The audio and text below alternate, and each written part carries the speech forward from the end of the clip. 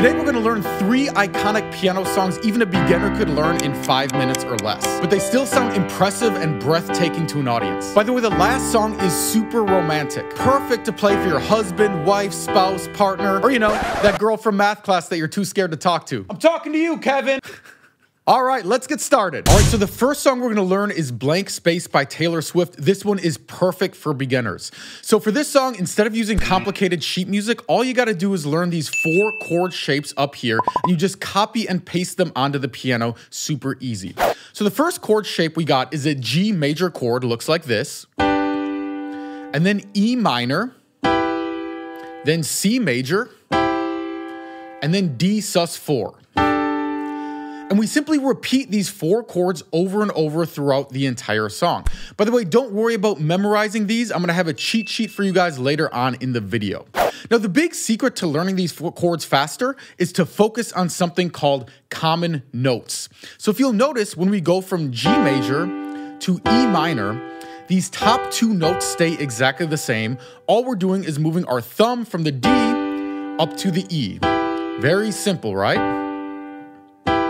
And guess what? When we go from E minor to C major, these bottom two notes stay the same. All we do is change the top note from this B up to this C. Now, the last chord change is the trickiest, but you'll notice when we go from this C chord to the D sus, this middle note stays the same as an anchor note. It's just the two outside notes change.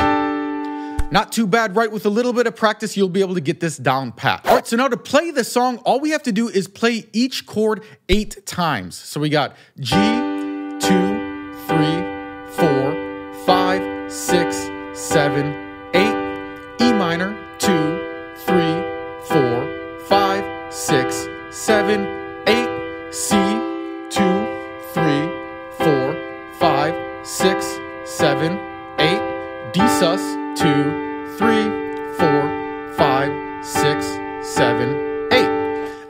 a sudden you can already play. Nice to meet you where you been.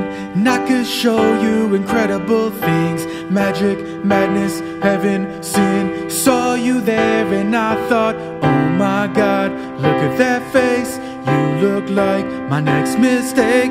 Love's a game, do you wanna play?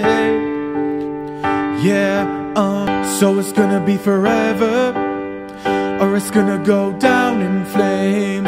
Could tell me when it's over, if the high was worth the pain. Got a long list of ex lovers. You just repeat the same pattern throughout the entire song. Now, guess what? That already sounds great, even without the left hand. Now, we'll talk about the left hand later and how to spice things up a little bit. But first, let me show you an even easier Justin Bieber song you can learn in about five minutes. By the way, if you like this simplified style of teaching, hit that like button. I'd really appreciate it. It helps out the channel a lot. All right, so next up, we got Baby by Justin Bieber, but we're gonna transform it into an emotional piano track. So check this out. Up here are the four chords we used for the last song. Now, you ready for this magic trick? One, two, three, boom. It's the same four chords for this song as well. So you can already play. Baby, baby, baby, oh, and like baby, baby, baby, oh, and like baby, baby, baby, oh, I thought you'd always be mine, mine. This out. Let's add a little bit of style to this song, all right? So all you're gonna do is for the verse, you're gonna play very short like this. And for the chorus, you're gonna play long. So for the verse, play short like this. You know you love me, you know I care. Just shout whenever, and I'll be there. You are my love, you are my heart, and we will never, ever, ever be apart. Then for the chorus, you're gonna smash that pedal down and play long so the chord sounds like this. Baby, baby, baby, no, like baby, baby, baby, oh,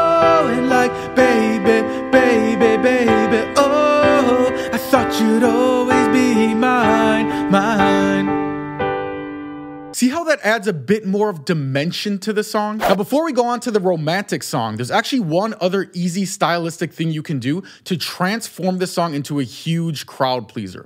But first, if you want to make sure you don't miss out on any of these videos in the future, hit that subscribe button and hit that notification bell now. All right, so one easy trick that audiences absolutely die for is if you take a fast song like this and you transform it into a piano ballad simply by playing it slower. So check this out. Instead of Baby, baby, baby, oh, and like, just play it slow and emotional like this. baby, baby, baby, oh, and like, baby, baby, baby,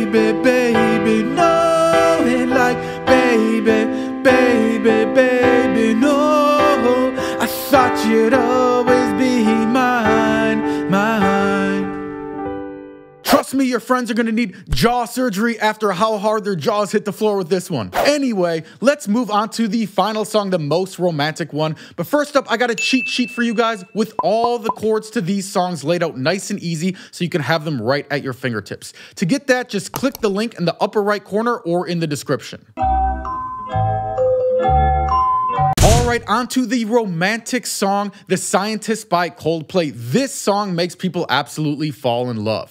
Now, as you can see, the chords are actually the exact same chords from the other songs, just in a different order. How easy is that? So this time, we start with E minor, then C, then G, then D sus. Now, the only difference is instead of playing each chord eight times like the other songs, you play each chord four times. It's gonna sound like this. Come up to meet you, tell you I'm sorry. You don't know how lovely you are. And I had to find you, tell you I need you, tell you I set you apart. Now, this already sounds great, right? But if you want to challenge yourself a little bit, there's one note that Coldplay throws in there to spice it up even a little bit more. Now, all you gotta do is between the last C chord and the first G chord, you throw in a D note with your pinky. So it sounds like this. You play the C chord four times. One, two, three, four, D, G. All right, that was a little bit fast. Let me do it again. One, two, three, four, D, G. And you do the rest of the chords exactly the same. So full speed, and you're gonna recognize this if you know the song, it's gonna sound like this.